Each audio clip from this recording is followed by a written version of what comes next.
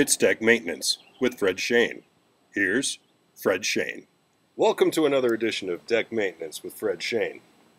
I'm your host, Fred Shane. Got a couple more letters for you that I'd like to share. First off, thanks for watching. Dirk from Little Rock wrote, Fred, I like to keep my deck clean, but where should I keep my hose? Well, I keep my hose on the corner of my deck, not in the center of the deck, because the hose might be dirty. So what you want to do, keep your hose on the corner of your deck. It's a safety issue too. And also Agnes from Palm Beach wrote, Fred, I loved it when you talked about your big deck. My boyfriend's deck is kind of flimsy. What should I do?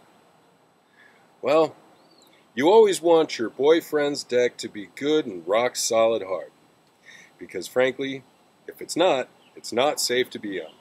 So if your boyfriend really loves you, he'll take care of his deck. But if he doesn't take care of his deck, you might want to consider get a new boyfriend. In fact, if you want, I'll send you pictures of my deck.